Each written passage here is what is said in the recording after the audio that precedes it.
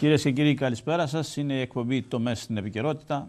Έχει επικαιρότητα και πάλι κυριαρχείται στο μεν εσωτερικό από το σκοπιανό κυρίω ζήτημα και από τις κλασικές πια αντιπαραθέσεις στη Βουλή, αντιπαραθέσεις με τις οποίες είμαστε εξοικειωμένοι σε αυτή τη χώρα και δεν βγάζουν πουθενά και στο εξωτερικό κυρίως από την συνέχιση των διαδηλώσεων στην Γαλλία με τα κίτρινα γυλαίκα και την ρευστότητα που συνεχίζει να υπάρχει στην χώρα αυτή, η οποία αναζητά έναν νέο προσανατολισμό.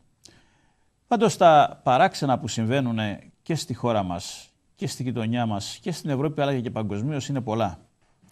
Και αυτά τα παράξενα δεν εξηγούνται με τη λογική κυκλικών είτε οικονομικών είτε πολιτισμικών είτε άλλων κρίσεων. Κάτι σοβαρότερο συμβαίνει το οποίο δεν μπορούμε αυτή τη στιγμή να δούμε ποιο είναι και πώς έρχεται, ίσως γιατί βρισκόμαστε μέσα στον πυρήνα αυτών των εξελίξεων. Θα μπορούσε κάποιος να το δει αν βρισκόταν σε ένα άλλο σύστημα αναφοράς και παρακολουθούσε αυτά τα γεγονότα. Ωστόσο, είναι πολλά τα σημάδια που υπογραμμίζουν ότι βρισκόμαστε σε μια μεταβατική περίοδο από το παλιό που πεθαίνει και το καινούριο που έρχεται με πολύ δύσκολη γέννα. Δεν βγαίνει, δεν έρχεται πολύ γρήγορα. Η κρίση δεν είναι πια κρίση. Ένα φαινόμενο το οποίο παρουσιάζεται και διατηρείται επί πολλά έτη δεν μπορεί να είναι απλώς κρίση. Κρίση είναι ένα κάτι το οποίο συμβαίνει μερικά χρόνια, αντιμετωπίζεται ή δεν αντιμετωπίζεται. Πάντως εδώ έχουμε μια στασιμότητα, έχουμε μια παρακμή, έχουμε μια πληθώρα γεγονότων που δεν συναρμολογούνται και δεν εντάσσονται σε μια λογική. Εντάσσονται ίσως, προμηνύουν ίσως κάτι καινούριο. Αυτό το καινούριο κυρίες και κύριοι θα επιχειρήσουμε σήμερα να δούμε σε αυτή την εκπομπή, την οποία τιτλοφορήσαμε «Το τέλος της κυριαρχίας της Δύσης», ένας τίτλος βγαλμένος, αν θέλετε, από το βιβλίο που έγραψε τελευταία η κυρία Μαρία Νεγρεπόντι Δελιβάνη, που είναι μαζί μου εδώ στο στούντιο. Ευχαριστώ πολύ που ήρθατε. Και εγώ ευχαριστώ για την πρόσκληση. Το τέλος της οικονομικής κυριαρχίας της Δύσης, λέει η κυρία Δελιβάνη, αλλά νομίζω ότι η... ο προβληματισμός ότι βρισκόμαστε σε κάποιο τέλος είναι ευρύτερος. Γιατί όποιος κυριαρχεί οικονομικά συνήθως επιβάλλει και τα πολιτισμικά του πρότυπα. Αυτό τουλάχιστον συνέβη μέχρι τώρα. Αναδύεται όμως κάτι καινούριο. Η φύση απεχθάνεται το κενό. Ποιος θα αντικαταστήσει εάν υπάρξει αυτό το τέλος είτε της οικονομικής μόνο είτε και της πολιτισμικής κυριαρχίας της Δύσης ποιος θα καλύψει αυτό το κενό. Όλοι λοιπόν συγκρίνουν στην άποψη ότι η ανερχόμενη παγκοσμίως δύναμη είναι η Κίνα. Έτσι λοιπόν, ο δεύτερος συνομιλητής μας σε αυτή την εκπομπή σήμερα είναι ο κύριος Δημήτρης Κιτσίκης, γνωστός ιστορικός, κυρίως και σε αυτή την εκπομπή αν θέλετε είναι γνωστός στους τηλεθεατές μας από τις προσεγγίσεις που έχει κάνει στο θέμα της Τουρκίας, τις σχέσεις της Ελλάδας με την Τουρκία και κυρίως οι αναφορές που κάνει στην Οθωμανική περίοδο. Άλλωστε το βιβλίο του κυρίου Κιτσίκη για την ιστορία της Οθωμανικής Αυτοκρατορίας έχει περάσει στα κλασικά είδη βιβλίων. Καλησπέρα κύριε καθηγητά από τη Θεσσαλονίκη. Ο κύριος Κιτσίκης βρίσκεται στην Οτάβα. Είναι και συνολόγος. Καλησπέρα κύριε Σαββίδη, πώς είστε; Ε, αυτά που είπατε μέχρι στιγμής ε, τα επικροτώ, διότι τα τοποθετήσατε σωστά. Μάλιστα. Θα μας δοθεί η δυνατότητα να τα αναλύσετε. Καλησπέρα στην κυρία Δελιβάνη. Καλησπέρα σας. Λοιπόν, ο κύριος Κιτσίκης, εκτός από τουρκολόγος, είναι και συνολόγος. Έχει γράψει μάλιστα και ένα βιβλίο όπου κάνει σύγκριση των πολιτισμών της Ελλάδας και της Κίνας. Άρα έχει ενδιαφέρον να δούμε εάν υποχωρήσει ο δυτικός πολιτισμός που κυρίως εκφράζεται από τις ΗΠΑ και την Ευρώπη και αναδυθεί ο κινέζικος, τι κόσμος θα διαμορφωθεί. Είναι ένα πιθανό ενδεχόμενο. Λοιπόν, τι σας κάνει εσάς, να ξεκινήσω από εσάς κυρία Δελβάνη και ως κυρία να και ξεκινήσετε από μένα. Το θέμα το οποίο εισάγεται σήμερα είναι τεράστιο. Ε, και πράγματι το θέσατε πολύ σωστά ως εισαγωγή. Τώρα να ε, συνεχίσω εγώ ότι ε, πρόκειται αυτή τη στιγμή κατά την άποψή μου για μία ε, αλλαγή πολιτισμού. Δηλαδή ο δυτικός πολιτισμός, ο οποίος κράτησε πολλά χρόνια, ε, έχει φτάσει στο τέλος του. Κάθε πολιτισμός έχει ένα χρονικό όριο μέσα στο οποίο μπορεί να κινηθεί. Αυτό πώς ε, προκύπτει στατιστικά; Αυτό προκύπτει... Ή το λένε οι πολιτισμολόγοι; Το λένε οι πολιτισμολόγοι, αλλά κυρίως το λέει και ε, η ιστορία. ε, το δείχνει η ιστορία στο παρελθόν. Ε, ο ελληνικός πολιτισμός, ο αρχαίος ελληνικός πολιτισμός έδωσε ε, από τις τάκτες του την, ανέδειξε το ρωμαϊκό πολιτισμό και στη συνέχεια έχουμε τον δυτικό πολιτισμό ο οποίος βασίζεται στην έχουμε... φιλελεύθερη δημοκρατία.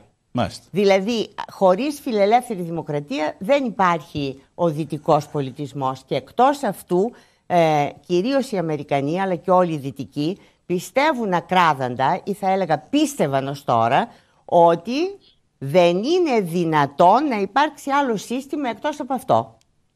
Η Κίνα αποδεικνύει ότι υπάρχει δημοκρατία η οποία δεν είναι φιλελεύθερη αλλά είναι ανελεύθερη. Και... Γιατί είναι δημοκρατία η Κίνα; Διότι έτσι θεωρείται. Από και... ποιους; Ένα, από αυτούς οι οποίοι ένα κάνουν μονοκομμα... τις αναλύσεις. Ένα μονοκομματικό σύστημα είναι. Μόνο δημοκρατία ένα, δεν είναι. Ένα μονοκομματικό σύστημα δημοκρατία είναι. Με, με ένα κόμμα στην. Το οποίο, το οποίο όμως, το οποίο όμως εκλέγει τους εκπροσώπους του. Εκλέγονται οι εκπρόσωποι τους. Επομένως, είναι ένα είδος δημοκρατίας, τουλάχιστον έτσι έχει επικρατήσει, και το ίδιο αυτό σύστημα έχει καταλάβει κατά κάποιο τρόπο όλη την Ιφίλιο, αρχίζοντας από την Ευρώπη. Δηλαδή, αν πάρετε όλα τα Βαλκάνια, ή σχεδόν όλα τα Βαλκάνια, ε, η, η ε, δημοκρατία που υπάρχει εκεί είναι ανελεύθερη δημοκρατία και έχουν αυτό, αυτές τις κυβερνήσεις οι οποίες χαρακτηρίζονται ως ε, λαϊκίστικες κυβερνήσεις. Ε, το ίδιο είναι και η Αμερική. Έχει λαϊκίστικη κυβέρνηση η Αμερική. Το ίδιο έχει και η Κίνα. Το ίδιο. Ε, Εντάξει, τώρα, ε, κυρία Παντελιβάνη, δεν γίνεται σύγκριση μεταξύ ΗΠΑ και Κίνας. Στη μία έχουμε μια λοιπόν, παραδοσιακή, ένα παραδοσιακό είδος δυτικής δημοκρατίας, όπως το ναι, είπατε. αλλά... Και στην άλλη έχουμε ένα κομμουνιστικό ναι. καθεστώς που κυριαρχεί στην πολιτική ζωή της χώρας, στην κοινωνική λοιπόν, όλα. Ε, η Κίνα και οι διεργασίες που, λέγεται, που λέτε γίνονται μέσα στο εσωτερικό του Κομμουνιστικού Κόμματος. Δεν γίνονται, σε, στο, δεν ναι, γίνονται αλλά, στην ναι, αλλά ε, επικρατεί αυτή η άποψη ακόμη και, και τα βασικά ναι. οικονομικά περιοδικά, ε, όπως είναι ε, διάφορα περιοδικά, το Economist ε, ε, και το Foreign Affairs και τα λοιπά, κάνουν αυτή τη διάκριση μεταξύ φιλελεύθερης δημοκρατίας, που είναι η δυτική δημοκρατία, και ανελεύθερη, η οποία είναι όλο το τώρα. Και είναι αυτές οι κυβερνήσεις οι οποίες υποτιμητικά και περιφρονητικά λέγονται από τις παραδοσιακές κυβερνήσεις λαϊκίστικες, οι οποίες έχουν πολύ κοινά χαρακτηριστικά και αν είναι ε, κατεύθυνσης ε, αριστεράς ε, ή, ή ε, είναι αριστερή ή μη αριστερή κυβέρνηση, δηλαδή δεξιά κυβέρνηση. Αυτά έχουν παρά τις διαφορές τους που είναι πολύ σημαντικές, έχουν και ορισμένα χαρακτηριστικά κοινά. Όλες αυτές οι κυβερνήσεις. Μάλιστα. Λοιπόν, εδώ και 100 χρόνια κύριε Κιτσίκη είχε κυκλοφορήσει ακριβώς το 18 μου φαίνεται, το 1918, το βιβλίο του Oswald Spengler ναι. για την παρακμή ναι. της Δύσης. Ακριβώς.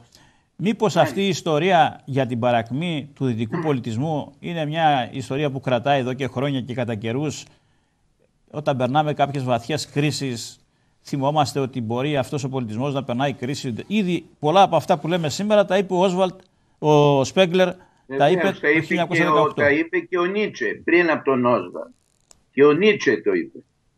Λοιπόν, τι λέτε, υπάρχει τέτοιο, τέτοιου είδους κρίση; Βεβαίως. Ή... Και θα σας πω το εξής, πιο συγκεκριμένα, για να μην μιλάμε στον αέρα γενικά και ε, δεξιά, αριστερά, φιλελεύθερο, ε, δικτατορίες και τέτοια. Ε, αυτές είναι γενικότητες. Λοιπόν, εγώ σας λέω το εξής ότι δίνω ακόμη κάθε χρόνο στην Οτάβα, στο Πανεπιστήμιο της Οτάβας, ένα μάθημα το οποίο έχει την εξής συνέχεια. Όταν στις 24 Μαρτίου του 1999 βομβαρδίστηκε από το ΝΑΤΟ η Ιουγκοσλαβία η Σερβία, η Σερβία συγκεκριμένα, όχι η Ιουγκοσλαβία. Η, τη Σερβία χτυπούσε. Δεν ναι. είχε ακόμη διαλυθεί. Το Κόσοβο, όπως ξέρετε, ε, μετά. Λοιπόν, όταν λοιπόν η Ιουγκοσλαβία, δηλαδή η Σερβία όπως λέτε, σωστά, αλλά υπήρχε ακόμη και το Μαυροβούνιο και ναι, το ναι, δεν έχει σημασία. Μαζί. Λοιπόν, ε, τότε είπα στους φοιτητές μου, είναι η αρχή του τέλους. Είμαστε στην αρχή ενός πλανητικού πολέμου, δεν τον ονόμασα τρίτο παγκόσμιο πόλεμο, διότι θεωρώ ότι είναι παραπάνω από τρίτος παγκόσμιος πόλεμος, διότι ο πρώτος και ο δεύτερος ήταν βασικά ακόμη ευρωπαϊκός πόλεμος, ως κέντρο δηλαδή την Ευρώπη, με ε, την Αμερική η οποία εισήλθε αργότερα, ε, αλλά δεν είχε τις διαστάσεις τις πλανητικές που έχει τώρα.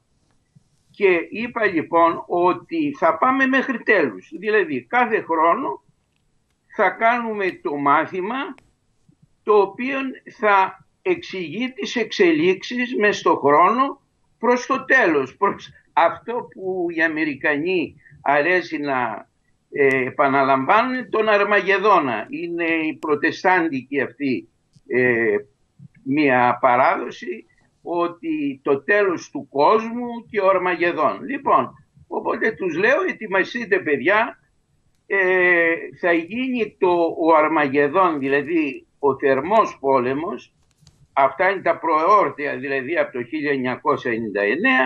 γύρω στο 2030, δηλαδή σε μία γενεά.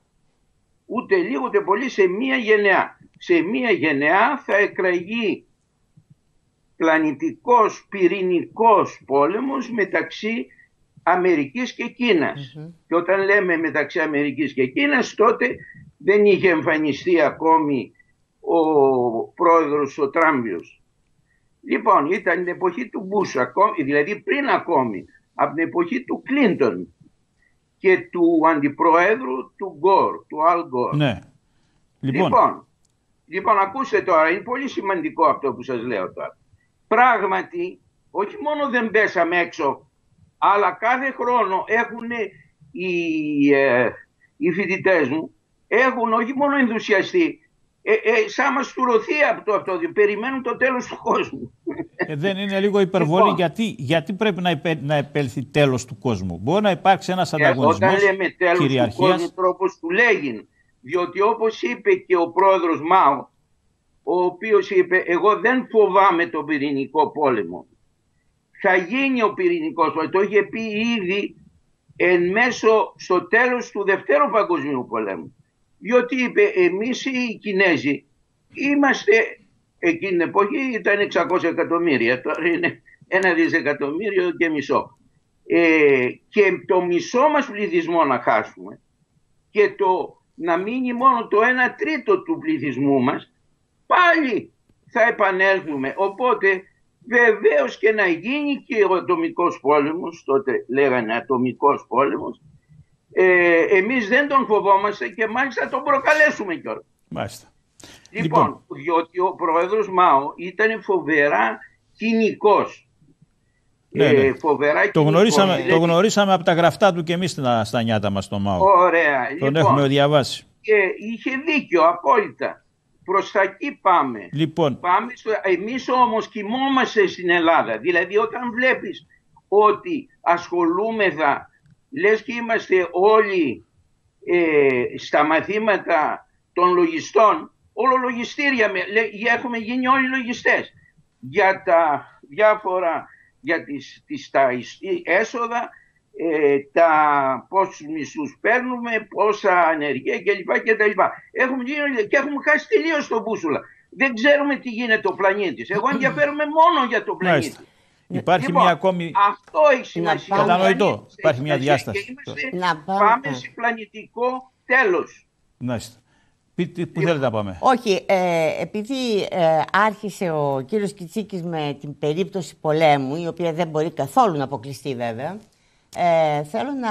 Ο κύριος Κιτσίκης μιλάει για πυρηνικό πόλεμο. Ναι, Αυτό τώρα δεν, είναι και, δεν, είναι τώρα, και λογικό, δεν είναι και το, το πιθανότερο να συμβεί. Ο πόλεμος θα είναι πυρηνικός και βέβαια είναι γνωστό ότι ο ε, Τραμπ έχει δώσει εντολή ήδη στους δικούς του να ετοιμάζονται, να ετοιμάζουν τα πυρηνικά όπλα είπε τι τα θέλουμε λέει, γιατί τα έχουμε τα όπλα αν δεν τα χρησιμοποιούμε.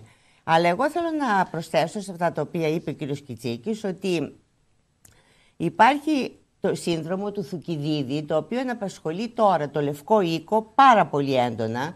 Ε, είναι, όπως είναι γνωστό, ο πόλεμος ε, ε, μεταξύ Σπάρτης και ε, Αθηνών, ο οποίος κράτησε πολλές δεκαετίες, ακριβώς γιατί η Αθήνα δεν θέλησε να λάβει υπόψη την ανερχόμενη δύναμη της ε, Σπάρτης. Και αυτό ακριβώς... Κάνει η Αμερική τώρα με την Κίνα. Κάνει ακριβώς η Αμερική με την Κίνα. Ε, και βεβαίως ένας πόλεμος έχει ήδη αρχίσει και πολύ έντονος μέσω του εμπορικού πολέμου. Ο οποίος εμπορικός πόλεμος είναι μία βιτρίνα τελικά, διότι ουσιαστικά αυτό το οποίο ενδιαφέρει τον ε, ε Τραμπ ε, δεν είναι αν θα πουλήσει λιγότερα ή περισσότερα ή ακόμη και αυτό το τεράστιο βέβαια έλλειμμα του εμπορικού του ισοζυγίου, όσο αυτό που, το, που τον ενδιαφέρει τρομερά είναι οι νέες τεχνολογίες, ναι. στις οποίες η ε, Κίνα φαίνεται ότι έχει προβάδισμα σε, πολλά, σε πολλούς τομείς. Πώς έχει προβάδισμα, αφού ουσιαστικά αντιγράφει. Λοιπόν, και ακριβώς, αντιγράφει, αλλά τα αντιγράφει τόσο καλά, τα οποία τα, τα, τα συνεχίζει πολύ καλύτερα. Και αυτό τώρα ε, στην ουσία δεν είναι πραγματικά εμπορικός πόλεμος, είναι κάτι πολύ περισσότερο διότι ε, έχει ε, αποκλείσει την είσοδο στην Αμερική από οποιονδήποτε Κινέζο ο οποίος μπορεί να, έχει κάποια, να υπάρχει κάποια υποψία ότι είναι κατάσκοπος από νέες τεχνολογίες και κατηγορεί ότι του έχουν κλέψει την τεχνολογία. Ποιος, οι Αμερικανοί. Οι Αμερικανοί. Αλλά το θέμα είναι. Οι Αμερικανοί κατηγορούν τους Κινέζους ναι, ότι, τους κλέβουν. Ναι, αλλά γιατί δεν πρόσεξαν όμως. Δηλαδή αυτό. Ε, ε, ε, θέλω να πω ότι ξύπνησαν αρκετά αργά αυτή τη στιγμή και τώρα, κατά την άποψή μου, οτιδήποτε και να κάνουν, δεν είναι δυνατόν να προλάβουν αυτό το οποίο έρχεται. Η Κίνα μέσα σε λιγότερο από 40 χρόνια ε, έχει αυξήσει κατά 34 φορές το ακαθάριστο εγχώριο προϊόν της. Δεν υπάρχει προηγούμενο στην οικονομική ιστορία με χώρα που να έχει αυτή την ε, εξέλιξη. Και, και προχωρεί ακάθεκτα. Τώρα βέβαια έχει μία μικρή ε, ε, επιβράδυνση, αλλά πολύ μικρή, είναι ακόμη γύρω στα 7%. Καμία χώρα δεν έχει τόσο Ναι, αλλά κοιτάξτε κυρία, κυρία Δελιβάνη, αν μια χρονιά βγάζεις ένα ευρώ και την άλλη χρονιά βγάλεις 2 ευρώ, έχεις αυξήσει το ακαθάριστο εθνικό σου προϊόν κατά 100%. Εξαρτάται, αυτό εξαρτάται τι, τι εθνικό προϊόν είχε. Οπωσδήποτε, αλλά δεν ήταν μικρό το προϊόν, εν πάση περιπτώσει, γιατί είναι ένας πληθυσμός, ο οποίος, όπως είναι ναι. γνωστό, ναι. είναι ένα δισεκατομμύριο 400 άτομα. Και αυτά τα άτομα. 400 εκατομμύρια. Και αυτά τα άτομα και, και κατόρθωσε μέσα σε αυτό το χρονικό διάστημα να δημιουργήσει μεσαία τάξη, γιατί δεν υπήρχε μεσαία τάξη, και να βγάλει από την απόλυτη, απόλυτη ε, φτώχεια 700 εκατομμύρια Κινέζους. Λοιπόν, δηλαδή, και βεβαίως προχωρεί ακάθεκτα τώρα. Δηλαδή, αυτά τα οποία κάνει είναι φαντασμαγορικά. Μάλιστα. Τι λέτε εσείς τώρα που την έχετε μελετήσει και την Κίνα, με βάση αυτά που είπε και η κυρία Δελιβάνη και αυτά που παρακολουθείτε κι εσείς. Είναι λοιπόν, πράγματι μια αναδυόμενη κυρία... δύναμη; Λοιπόν, ένα λεπτό, γιατί πρέπει να είμαστε συγκεκριμένοι. συγκεκριμένοι. Καταρχάς, αυτά που λέει η κυρία Δελιβάνη είναι σωστά. Αλλά θα σας δώσω ένα πολύ συγκεκριμένο παράδειγμα. Πώς φτάσαμε στον πρώτο παγκόσμιο πόλεμο. Το 1860 η Γερμανία άρχισε να ε, φτιάχνει στόλο, ε, ναυτικό στόλο, πολεμικό και εμπορικό που καθαρθορύβησε την Αγγλία. Διότι μέχρι τότε η Αγγλία, όπως ξέρουμε, Βρυτάνια rule the waves. Μέσα σε 50 χρόνια, από το 1860 μέχρι το 1914, έφτιαξε μία ναυτική, ε, ένα ναυτικό στόλο καταπληκτικό που βασικά ένας από τους βασικούς λόγους του Πρώτου Παγκοσμίου Πολέμου ήταν αυτό διότι η Αγγλία δεν μπορούσε να δεχτεί η Γερμανία να πάρει μέρος της κυριαρχίας των θαλασσών. Αυτό ακριβώς γίνεται τώρα μεταξύ άλλων βέβαια και στην Κίνα. Εγώ που πήγαινα κάθε χρόνο στην Κίνα θυμάμαι την εποχή του Μάου, τη Σανγκάη. Η Σανγκάη ήταν το μεγάλο, ε, το μεγάλο λιμάνι όπου φτιάχναν τα πλοία. Μην ξεχνάμε ότι στο 15ο αιώνα η, ε, η Κίνα ήταν πρώτη στον κόσμο στην αυτιλία. Αυτό δεν το έχεις ξεχάσει. Πρώτη στον κόσμο. Λοιπόν, άρχισε λοιπόν ήδη από την εποχή του Μάου να φτιάχνει στόλο. Σήμερα ο στόλος και ο πολεμικός και ο εμπορικός έχει φτάσει στα επίπεδα που είχε φτάσει η Γερμανία γύρω στο 1900-1910. Λοιπόν, αυτό δεν μπορεί να το δεχτεί η Αμερική. Δεν είναι μόνο εμπορικός πόλεμος. Είναι, ξέρει ότι η αναμέτρηση είναι επί, επί στρατιωτικού επίπεδου και ό,τι και να κάνει δεν πρόκειται να αποφύγει τον πυρηνικό πλανητικό πόλεμο. Και θα σας πω και κάτι πιο συγκεκριμένο, το οποίο είναι και πάλι σίγουρο, διότι γι' αυτό κάθε χρόνο αυτά λέω στους φοιτητές μου με λεπτομέρειες και στατιστικές. Ο πυρηνικός πόλεμος θα γίνει σίγουρα στο Αιγαίο. Είμαστε στην πρώτη γραμμή. Βέβαια η πρώτη αντίδραση είναι και γιατί στο Αιγαίο και όχι στην, ε, ε, στον Ειρηνικό. Γιατί όχι στην περίφημη θάλασσα την Κινέζικη, την Νοτιοανατολική Κίνας. Διότι και εκεί εισέρχεται η γεωπολιτική και η ιστορία ότι από την εποχή του πολέμου της Τρίας περιέργως όλοι οι πόλεμοι από την εποχή του, ε, της Τρίας και βέβαια ο πρώτος και ο δεύτερος παγκόσμιος πόλεμος και μην ξεχνάμε ότι ο Τσόρτιλ που ήταν μεγαλοφία είπε στο Ρούσβελ γιατί λέει να ε, βάλουμε το στρατό μας να αποβιβαστεί στην Ορμανδία. Όχι να, να αποβιβαστεί στα Βαλκάνια. Τα Βαλκάνια έχουν σημασία. Η Μεσόγειος έχει σημασία. Η Ανατολική Μεσόγειος στο Αιγαίο. Και τελικά μπόρεσε, βέβαια κάναν την απόβαση στην Ορμανδία, αλλά και εμείς πληρώσαμε βέβαια με τα Δικεμβριανά. Λοιπόν, θα γίνει, ο, δεν το συζητούμε καν, είναι αναπόφευκτο ότι θα γίνει πυρηνικός παγκόσμιος πόλεμος μεταξύ Αμερικής και Κίνας στο Αιγαίο. Το θέμα είναι λοιπόν το θέμα των συμμαχιών. Η Αμερική βέβαια για να μπορεί να κερδίσει αυτόν τον πόλεμο πρέπει να μπορέσει την Κίνα να την απομονώσει.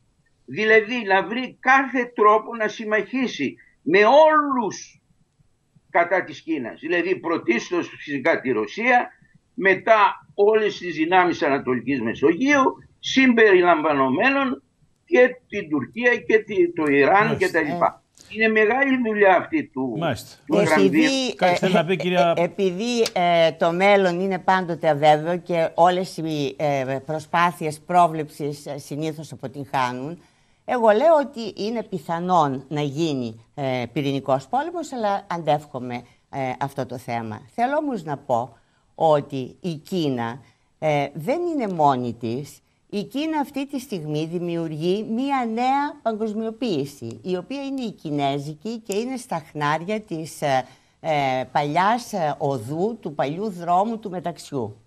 Γύρω από την Κίνα υπάρχουν 70 χώρες, οι οποίες έχουν αυτήν ως στο μέσον. Και ένα, μία από τις πολύ βασικές της ε, ε, επενδύσεις είναι βέβαια το Κόσκο, δηλαδή ε, το λιμάνι του Πειραιά, από το οποίο προβλέπεται ότι θα διοχετεύονται στην Ευρώπη το 62% των προϊόντων της ε, Κίνας. Έχουν κάνει επίσης σε όλα τα Βαλκάνια ε, ε, σιδηροδρομικές γραμμές, έχουν κάνει ε, αυτοκινητόδρομους οι οποίοι ενώνουν κατευθείαν χώρες της Βαλκανικής με την Κίνα και αυτό νομίζω ότι είναι το πάρα πολύ σημαντικό θέμα το οποίο ε, αντικαθιστά την εθνίσκουσα ήδη δυτικού τύπου ε, παγκοσμιοποίηση η οποία ε, υποχωρεί βεβαίως εφόσον ο, ο, Τραμπ δεν τη θέλει, είναι εντελώς αντίθετος με την παγκοσμιοποίηση. Ο Τραμπ θα κάτσει και... μερικά χρόνια ακόμα, θα κάποιος άλλος θα Ναι, αλλά δεν θα αλλάξει αυτό, γιατί αυτό νομίζω ότι έχει μπει πλέον σε έναν δρόμο και, και είναι και εμπολής και νομοτελειακό. Δηλαδή είναι η εναλλαγή που λέγαμε και των κοσμοθεωριών και των συστημάτων και των βέβαια φιλοσοφικών φιλοσοφιών. Λοιπόν, τώρα αυτό, ε, οι, οι ε, Ηνωμένες Πολιτείες έχουν ε, έναν πανικό, κυρίως ο οποίος ε, ευράζεται στα Βαλκάνια, εξού και έχει δημιουργηθεί αυτό το θέμα με την Μακεδονία, με την, με την υποτιθέμενη Μακεδονία δηλαδή. Διότι δεν θέλουν να πέσουν αυτές οι χώρες στα χέρια των Ρώσων. Φοβούνται τη Ρωσία. τώρα η Ρωσία, άλλο η ναι, Ρωσία, άλλο η Κίνα. Μια στιγμή. Τώρα για την Κίνα η... λέμε. Η Κίνα δεν παίζει κανένα τέτοιο παιχνίδι, δεν παίζει πολεμικά. Μια στιγμή. Η, η Ρωσία είναι ακόλουθος της Κίνας αυτή τη στιγμή. Λοιπόν, η Κίνα ε, έχει πάρει όλα τα Βαλκάνια. Έχει, Πώς έχει... τα έχει πάρει, εμπορικά. Έχει, ε, εμπορικά. εμπορικά. Έχει κάνει υποδομές. Τι έχει, τι έχει κάνει με τα Βαλκάνια. Ε, έχει αγοράσει λιμάνια, έχει αγοράσει αεροδρόμια, έχει αγοράσει ε, ε mines ε, που παράγουν μέταλλα. Είναι πάρα πολύ βασμένοι μέσα και κυρίως έχει κυβερνήσεις οι οποίες είναι με τη Ρωσία και με την Κίνα ε, επεκτατικά. Και εκτός όλων αυτών πρέπει να πω ότι ετοιμάζει με την Κίνα, η Κίνα με την Ρωσία, την αντικατάσταση του δολαρίου μέσω του Γουάνα, το οποίο ε, ε, τα τελευταία χρόνια έχουν αγοράσει και οι δύο αυτές χώρες τεράστια ποσά από χρυσό και κάνουν τώρα ένα σύστημα το οποίο θέλουν να πληρώνουν το ε, πετρέλαιο με Χουάνα, τα οποία όμως θα είναι convertible, θα μπορούν να, να πληρωθούν δηλαδή σε χρυσό. Οπότε δεν θα μπορεί αυτός ο οποίος πουλάει το πετρέλαιο, αρχίζουν με το πετρέλαιο, να πει ότι δεν δέχομαι το Χουάν διότι δεν έχω εμπιστοσύνη στο Χουάν. Εφόσον δεν έχει εμπιστοσύνη στην αρχή, θα του ε, δίνουν χρυσό. Και όλα αυτά, όλα αυτά είναι πάρα πολύ σημαντικά ναι. και τα οποία δίνουν ένα... Είναι χαρακτηριστικά μιας κινητικότητας που έχει η Κίνα σε συνεργασία, όπως λέτε εσείς, με τη Ρωσία. δύναμης που, που, έχει που, η Κίνα. Ναι, που προσπαθεί να βγει μπροστά σε σχέση με τις ΗΠΑ. Αυτό, είναι, αυτό είναι ο στόχος της, ναι. βεβαίως. Αυτό είναι ο στόχος της και τώρα το λέει. Ενώ όλα τα προηγούμενα χρόνια που ετοιμαζόταν Άρα, είχε ένα πολύ χαμηλό προφίλ. Εσείς τώρα έχετε. Μάλιστα, αυτό το κάνετε στο βιβλίο σας. Με οικονομικά στοιχεία προσπαθείτε να αποδείξετε ότι η Δύση παρακμάζει οικονομικά. Ναι, όχι, δεν, έχει δεν μια προσπαθώ, έχετε... παρακμάζει. Αυτό είναι, ναι. είναι Υπάρχει μια στασιμότητα, εκεί, ναι. εκεί εστιάζεται, οποία... στην οικονομική στασιμότητα, που είναι μακροχρόνια, άρα αυτό είναι ένδειξη όχι απλώς κρίσης, άρα παρακμής, αυτό λέτε. Και η οποία ανατρέχει και ε, αναπαράγει αυτή τη στιγμή μέσω του Σάμερς το, ε, την παλιά θεωρία του Άλβεν Χάνσεν ε, Ότι... περί αέναης, αέναης ε, στασιμότητας. στασιμότητας. Ναι που σημαίνει η αένα η στασιμότητα που σημαίνει παρακμή. Αυτό λέτε. Ναι. Σημαίνει ότι κάθε χρόνος δεν θα είναι καλύ... Ε, ο κάθε επόμενος χρόνος είναι χειρότερος από τον προηγούμενο. Ναι. Μάλιστα. Και από, από τη μια εντοπίζεται μια κινητικότητα στην Κίνα, σε συνεργασία λέτε με τη Ρωσία. Αυτό είναι ένα ζητούμενο. Εγώ δεν έχω διαβάσει για αυτή τη συνεργασία, άρα δεν μπορώ να την υποστηρίξω σε ό,τι με αφορά. Είναι, είναι, πολύ έντονη, είναι πολύ έντονη όπου, ναι, η συνεργασία ε, Αυτά είναι μια διαπίστωση με στοιχεία είναι μια κινητικότητα η οποία πιστεύετε ότι, ότι οδηγεί στην αλλαγή της ιεραρχίας στην παγκόσμια τάξη; Και η οποία είναι αναπότρεπτη αυτή τη στιγμή. Δηλαδή ε, δεν είναι δυνατόν να, να ανατραπεί αυτό το πράγμα έστω ναι. και αν αύριο αρχίσει ένας Θα κάνουμε μια μικρή διακοπή για διαφημίσεις και θα επανέλθουμε τώρα να δούμε ποια είναι η Κίνα που αναδύεται. Τι χαρακτηριστικά έχει η Κίνα και θα δώσουμε το λόγο στον κύριο Κιτσίκη, ο οποίος την έχει. Η κυρία Δελιβάνη. Mm-hmm. Λοιπόν, θα σε... απαντήσω στην κυρία Δελιβάνη. Θα απαντήσετε και στην οποία... κυρία Δελιβάνη σε ένα λεπτό. Σε ένα λεπτό, κύριε Κιτσίκη.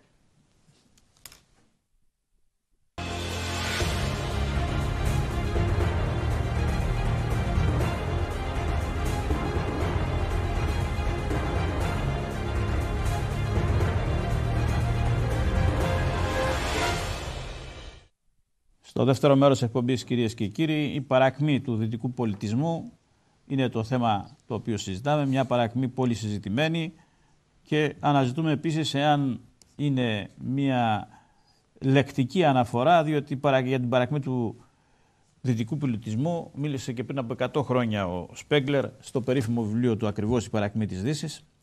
Ναι, μήπως είναι δηλαδή όταν κάπως δεν μπορούμε να ερμηνεύσουμε τα γεγονότα, καταφεύγουμε σε μια ερμηνεία της παρα, περί παρακμής του δυτικού πολιτισμού. Πάντως, εδώ στο πρώτο μέρος της εκπομπής, η κυρία Δελιβάνη μας έδωσε μια ορισμένα στοιχεία, τα οποία περιλαμβάνει και σε ένα βιβλίο που έχει βγάλει τελευταία, για ποιο λόγο η Δύση διανύει μια παρατεταμένη στασιμότητα και αυτό για τους οικονομολόγους είναι στοιχείο μιας παρακμής και τώρα είμαστε, αναζητούμε ποια είναι η δύναμη που θα αναδυθεί. Η δύναμη που θα αναδυθεί είναι από ότι όλα δείχνουν η Κίνα και είμαστε στη φάση του να δούμε τώρα στην εξέλιξη εκπομπής ποια είναι τα χαρακτηριστικά της Κίνας. Δηλαδή, η κυρίαρχη παγκοσμίως δύναμη τι χαρακτηριστικά έχει πολιτισμικά κυρίως και δευτερευόντως οικονομικά και πολιτικά.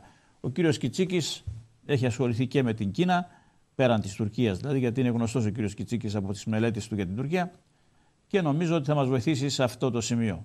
Ποια είναι η Κίνα, κύριε Κιτσίκη, λοιπόν. ποια είναι τα πολιτισμικά της χαρακτηριστικά και αν θέλετε να απαντήσετε σε αυτά που είπε και η κυρία Δαλιβάνη, απαντήστε. Λοιπόν, λοιπόν, λοιπόν.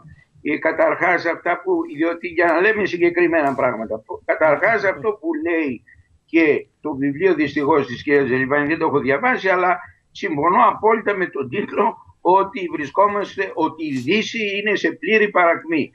Τα είπε από την εποχή του Νίτσε ε, και λοιπά. Λοιπόν, σύμφωνοι.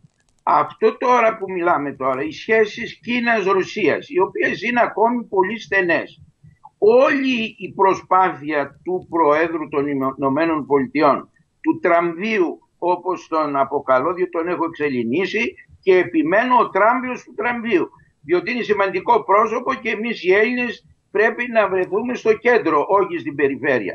Ο τράμπιος λοιπόν, όλη του η προσπάθεια είναι ακριβώς να μπορέσει αυτή τη συμμαχία Ρωσίας-Κίνας να την διαλύσει διότι εάν κατορθώσει να ε, μπορέσει τουλάχιστον με τη Ρωσία αλλά και με τους άλλους συμμάχους της Κίνας να την απομονώσει κερδίζει τον πυρηνικό πόλεμο, τον πλανητικό πόλεμο. Εάν όμως δεν το καταφέρει και παραμείνει η Ρωσία στενά συνδεδεμένη με την Κίνα είναι σίγουρο ότι η Κίνα θα κερδίσει τον πόλεμο. Επειδή όμως βρισκόμαστε σε εσωτερικό πόλεμο στην Αμερική και στον κόσμο τον ενδοκαπιταλιστικό εμφύλιο πόλεμο δεν αφήνουν τον πρόεδρο των Ηνωμένων Πολιτειών. Δεν τον αφήνουν οι εχθροί του. Δηλαδή αυτούς που ονομάζω τους σοσιαλδημοκράτες τραπεζίτες παγκοσμιστές ε, να μπορέσει να προσετεριστεί τη Ρωσία προσπαθούν δε και καλά, δηλαδή η, η τότε η Ομπάμα, Κλίντον κλπ, αυτή η παρέα η οποία είναι ακόμη αυτή η οποία είναι το αντίπαλο δέος στην, ε, στην Αμερική να γίνει πόλεμος κατά της Ρωσίας. Άμα γίνει όμως αυτό που θέλουν δηλαδή να χτυπήσουμε τη Ρωσία ε, τότε χάνουμε τον πόλεμο. Δηλαδή η Δυτική. Διότι τότε η συμμαχία Ρωσίας-Κίνας θα συνεχιστεί. Θα ήθελα όμως να επικεντρωθούμε πιο συγκεκριμένα σε αυτόν τον εμφύλιο εντοκαπιλιστικό πόλεμο που γίνεται με τα κίτρινα γυλαίκα. Είναι πάρα πολύ σημαντικά. Εμείς λοιπόν, κοιμόμαστε. Ποια είναι, η άποψή σας για τα κίτρινα γυλαίκα; Δεν είναι απλώς άποψη. Εδώ βοίζει ο πλανήτης. Ότι; Και εμείς κοιμόμαστε. Λοιπόν, σας λέω δύο πράγματα. Υπάρχουν δύο σύμφων, συμφωνίες καθοριστικές. 2015 η Συμφωνία του Παρισιού για ε, την ε, Συμφωνία για το, ε, για το κλίμα. Και του 2018 φέτος, φέτος στο Μαρακές του Μαρόκου η συμφωνία, το σύμφωνο για, τους, για τη μετανάστευση. Αυτά τα δύο όπλα των εχθρών του τραμβίου, των εχθρών του, ε, ε, των εθνικιστών Αμερικανών, δηλαδή που προωθούνται από τον παγκοσμισμό, έφεραν τα κίτρινα γυλαίκα. Τα οποία αυτό είναι το τέλος της δύσεως. Είναι τα κίτρινα γυλαίκα, ούτε λίγο ούτε πολύ. Γιατί; Πρόκειται δηλαδή για κάτι καταπληκτικό που θυμίζει τη Γαλλική Επανάσταση του 1789, έστω και αν δεν θα έχει άμεσο αποτέλεσμα. Και γιατί, διότι αν πας πίσω ε, στο λεγόμενο στους πράσινους φόρους ε, του διοξιδίου του άνθρακος ε, που ήδη είχε επιβάλει αυτούς τους φόρους ο Αλ Γκόρ ο οποίος πήρε και τον Νομπέλ Ειρήνης αυτός ο παλιάνθρωπος ο, ε, αυτός που σκότωσε την Ιουγκοσλαβία ε, που, ε, που βομβάρδισε και έφερε μπροστά του Ουτσεκά. Λοιπόν, ναι. Ε, η οποία Ουτσεκά είχε συμμαχία με, την, με τους τρομοκράτες του, των τζιγαριστών. Λοιπόν, ο Αλγκόρ ο οποίος το 2007 πήρε το Νομπέλ, παρακαλώ, το Νομπέλ Ειρήνης. Στο θέμα μας για να μην χάσουμε χρόνο γιατί περνάει Εγώ αυτό είναι το θέμα. Μα αυτό είναι το θέμα. Ποιο είναι το, το Νόμπελ του Γκόρ είναι; Έβαλε αυτό που λένε την carbon tax.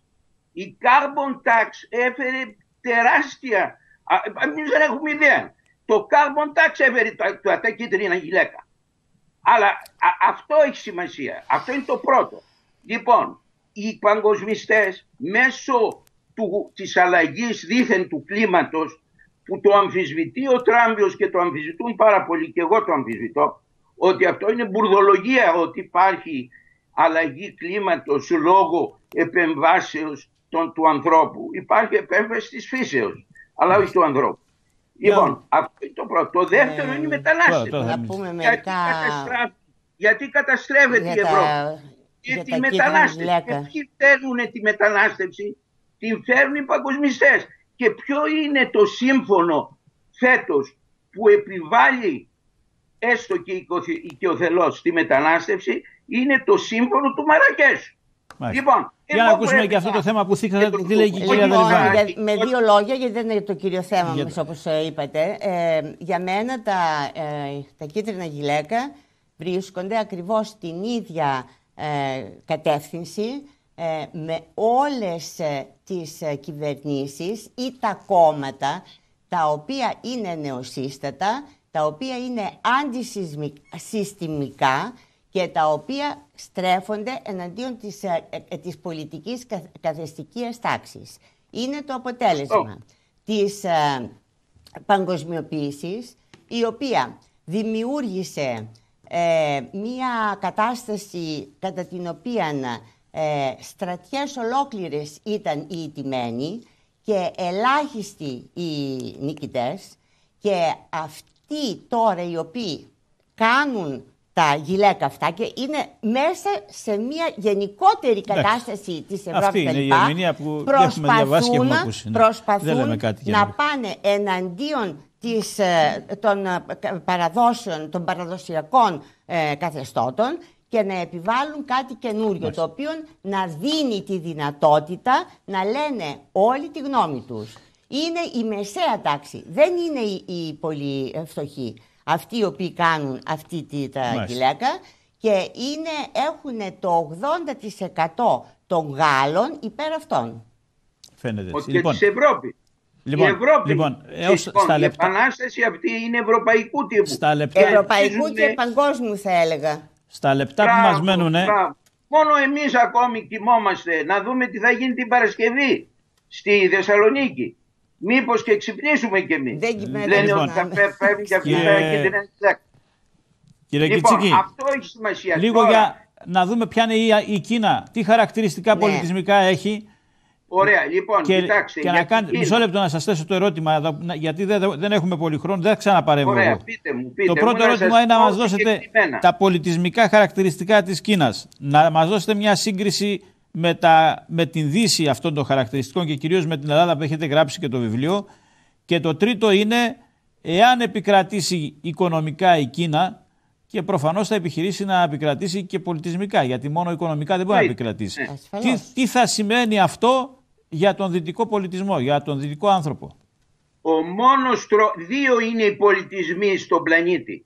Δεν υπάρχουν τρεις. Δύο είναι οι πολιτισμοί. Ο ελληνικός και ο κινέζικος.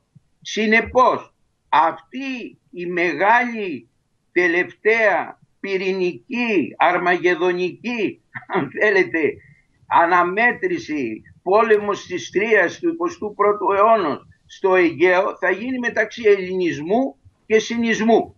Ο ελληνισμός, ο οποίος δεν έχει καμία σχέση πλέον με την Ελλαδίτσα μας και με έναν λαό που ο Θεός ξέρει να τους κάνει Έλληνες, μιλάμε για τον πολιτισμό. Ο πολιτισμός, ο ελληνικός πολιτισμός είναι ο δυτικός αλλά είναι και παγκόσμιος. Είναι αξεπέραστος. Αυτό το έχουν δεχτεί όλοι και οι Κινέζοι το έχουν δεχτεί. Και οι Κινέζοι. Συνεπώς, εάν κατορθώσει ο Τράμπιος στον πόλεμο αυτό να μπορέσει να προβάλλει τον ελληνικό πολιτισμό κατά του κινέζικου πολιτισμού που είναι βέβαια εισάξιος του ελληνικού. Είναι δηλαδή ίσα ίσα είμαστε και οι δύο πολιτισμοί. Εάν κερδίσει η Δύση κερδίζει ο ελληνισμός. Αν κερδίσει η Κίνα κερδίζει ο συνισμός. Θα μου πείτε και γιατί να μην κερδίσει ο συνισμός. Και αυτός εξίσου πολιτισμός μεγάλης ολκής. Αλλά αυτή είναι, αυτό είναι το ναι. τίποτα άλλο. Τίποτα άλλο. Να θέσω λοιπόν. κάτι άλλο ε, το οποίο δεν ε, τέθη και το οποίο θεωρώ ότι είναι πάρα πολύ σημαντικό. Είναι η επάνωδος του κράτους έθνους και του εθνικισμού με την πολύ καλή έννοια σε όλες αυτές τις χώρες οι οποίες είναι γύρω μας και μη γύρω μας. Η μόνη χώρα η οποία έχει απεμπολίσει την εθνική της ταυτότητα και την ε, περιφρονή είναι η Ελλάδα. Όλοι οι άλλοι δίνουν τρομερή ε, προσοχή, yeah. όπως πρώτη η Αμερική, πρώτη η Κίνα, πρώτη η Ουγγαρία. Είναι ο εθνικισμός, είναι πατριωτισμός με την καλή έννοια του όρου. Δεν είναι ούτε χιτλερισμός, ε, ούτε φασισμός. Είναι το να αγαπάς την πατρίδα σου, που είναι κάτι πάρα πολύ κανονικό σε, όλο τον, σε κάθε άνθρωπο, να αγαπάς την πατρίδα σου περισσότερο από τις άλλες πατρίδες. Τώρα εμείς αυτό το πολεμάμε εναντίον, είμαστε εναντίον της θρησκείας, ποιος, της ποιος τα πολεμά αυτά. Ε, η παρούσα κυβέρνηση. Ε, εντάξει, παρούσα ναι. κυβέρνηση. Λοιπόν, ε, όχι και γενικά δηλαδή εμφανιζόμαστε ότι δεν μας ενδιαφέρει. Να, να προχωρήσω τώρα για τα χαρακτηριστικά. Ναι, ναι, ναι αυτό να πείτε. Λοιπόν, η Κίνα ε, έχει καταφέρει να συνδυάσει κατά έναν τρόπο, θα έλεγα, πολύ ε, επικοδομητικό και επιτυχή κομμουνισμό και καπιταλισμό. Ε, ε, υποστηρίζει τρομερά τις επιχειρήσεις της, τις μεγάλες κυρίως επιχειρήσεις, τις άλλες τις βίνει. Έχει όμως και ιδιωτικές επιχειρήσεις, τις οποίες επίσης χρηματοδοτεί. Χρηματοδοτεί όλες τις επιχειρήσεις με βάση τις ε, οικονομίες των νοικοκυριών, οι οποίες κατατίθενται σε μία τράπεζα και οι οποίες ήταν 15, αν δεν κάνω λάθος, 3 εκατομμύρια το, το 2015. Όλα αυτά πηγαίνουν στις επιχειρήσεις οι οποίες κάνουν ε, η αποταμίευση δηλαδή. Η αποταμίευση.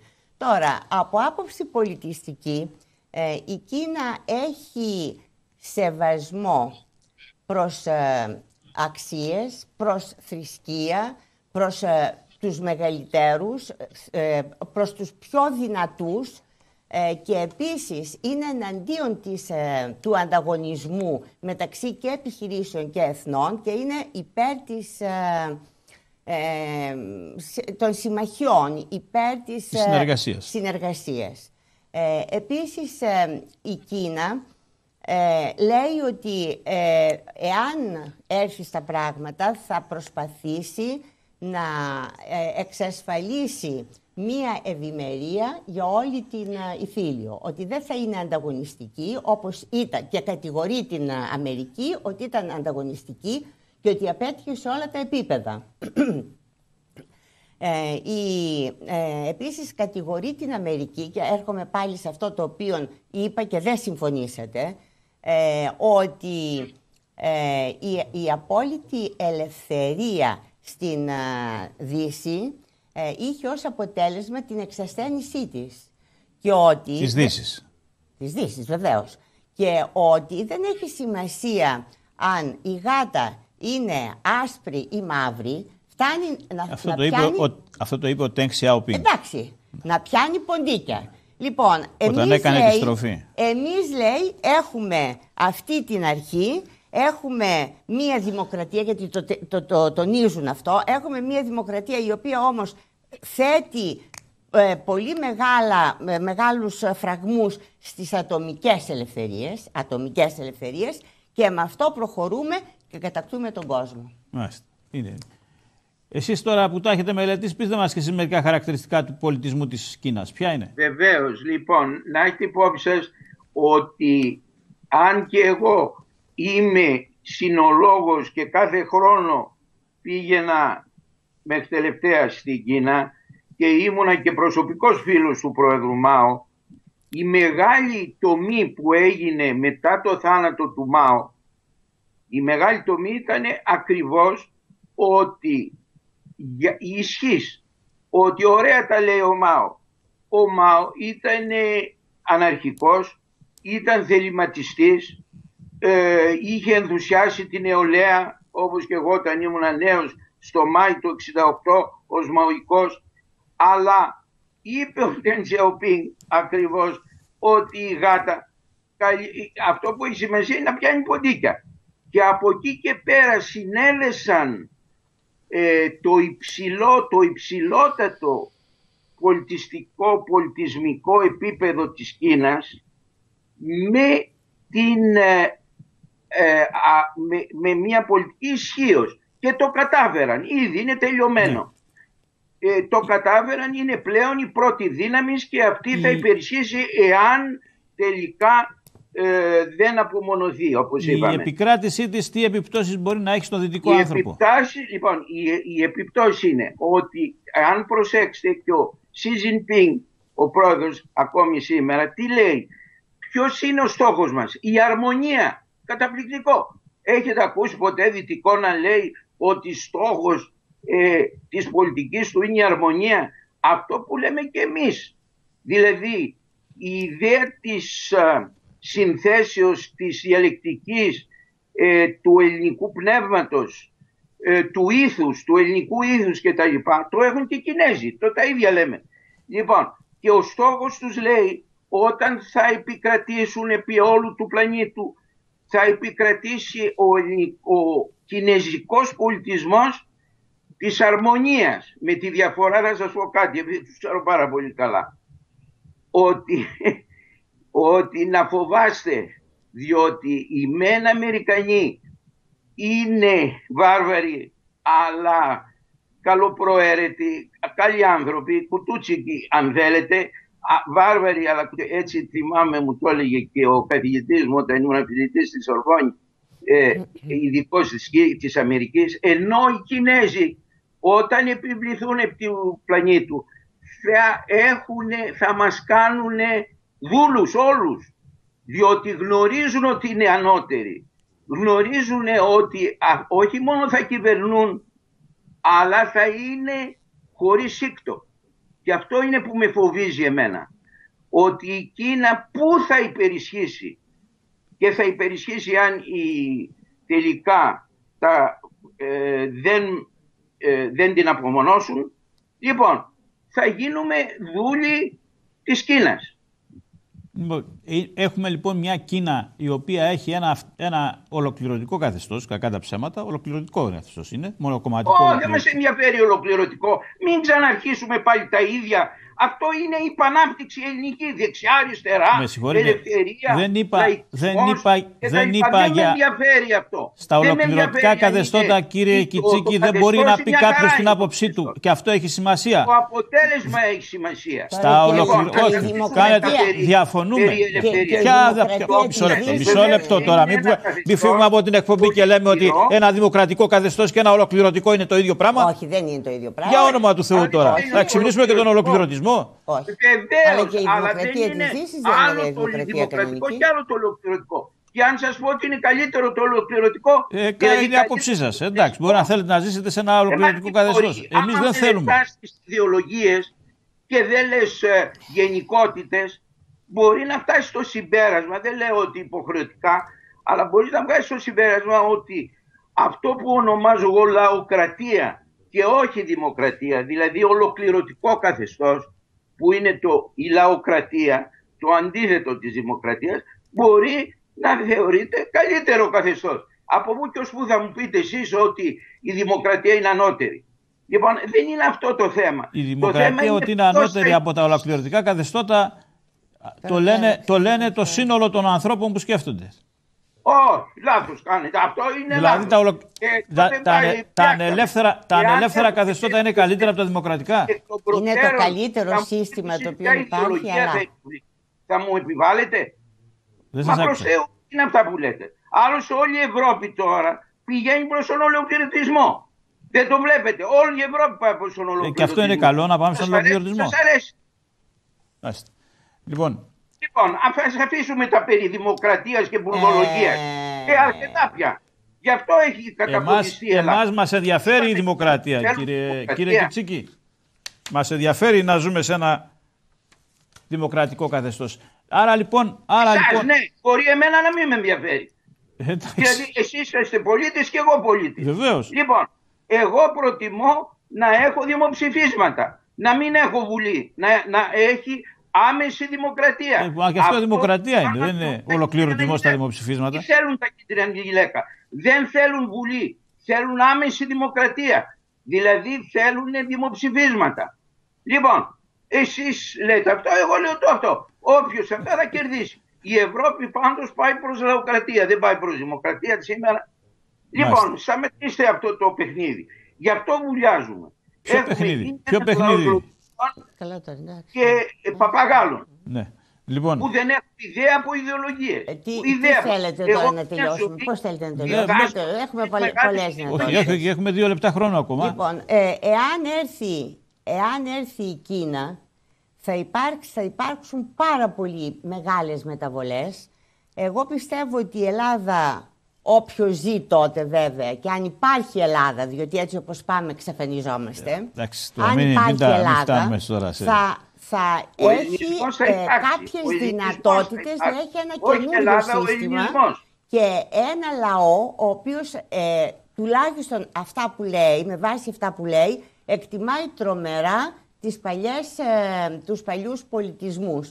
Την Ελλάδα τη σέβεται, από ό,τι ξέρω και από ό,τι όταν ήμουν εκεί το είδα, ότι σέβεται απόλυτα την ε, ελληνική, ε, ε, την Ελλάδα ως παλιό πολιτισμό. τώρα, από εκεί και πέρα βέβαια μπορεί να υπάρξει ένας πόλεμος, ο οποίος είναι καταστρεπτικός, ο οποίος θα εξαφανίσει το πλανήτη στο μεγαλύτερο μέρος του. Ας μην τα σκεπτόμαστε Εντάξει, αυτά. Λοιπόν, λοιπόν είμαστε λοιπόν στο μέσον σε μια μεταβατική φάση μιας εξέλιξης όπου το παλιό παρακμάζει και δεν έχει, δεν έχει προτάσεις για να βγούμε από αυτή την παρακμή και το παλιό είναι ο δυτικός πολιτισμός και οι χώρες της Δύσης ανακυκλώνονται γύρω από μια κρίση η οποία πλέον δεν, έχει, δεν είναι κρίση, είναι παρακμή.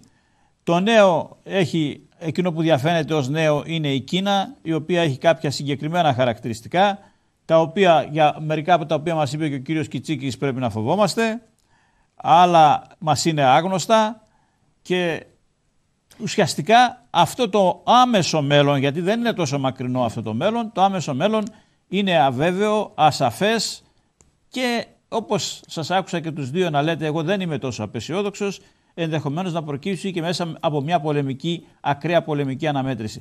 Πιστεύω ότι δεν θα εκτονωθεί αυτή η, η τάση, η τάση δηλαδή του πολέμου και θα υπάρξει μια, μια έλευση του καινούριου χωρίς τέτοιες ακρότητες. Γιατί εάν πάμε σε ένα πυρηνικό πόλεμο, εντάξει, τότε Πάντως είναι μια, μια πιθανότητα και αυτή. Αλλά ας ελπίσουμε ότι το, το νέο δεν θα προκύψει μέσα ναι, από ένα πυρηνικό πόλεμο. Και το καθεστώς της Ευρώπης αλλάζει βέβαια. Δεν, και δεν το καθεστώς της Ευρώπης το είπαμε. Το, το είπαμε και αυτό, το λέμε συνέχεια. Και βέβαια δεν αυτό ξέρουμε είναι... εάν δεν εξαφανιστεί η Ευρωπαϊκή Ένωση εντός ολίγου. Κινδυνεύει τα μέγιστα. Εντάξει.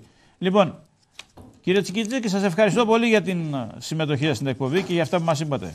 Εδώ ε, μόνο μία λέξη πρωτού κλείσουμε, ναι. μία λέξη ότι στις εκλογές, στις ευρωεκλογές που θα γίνουν το, ε, την Άνοιξη η, ε, θα δείτε ότι η εθνικιστική Ευρώπη θα επιβληθεί ναι. και ότι η Ευρώπη των Βρυξελών θα καταποντιστεί και θα επανέλθουμε στην Ευρώπη των εθνών τους στρατηγού Ντογκόλ. Μάλιστα. Για δούμε. Αυτό είναι σίγουρο. Θα το δούμε. Ναι. Σε μερικούς μήνες θα το δούμε. Ευχαριστώ και εσάς που ήρθατε σήμερα. Τι εκλογές του Μαΐου να δείτε. Να είστε καλά.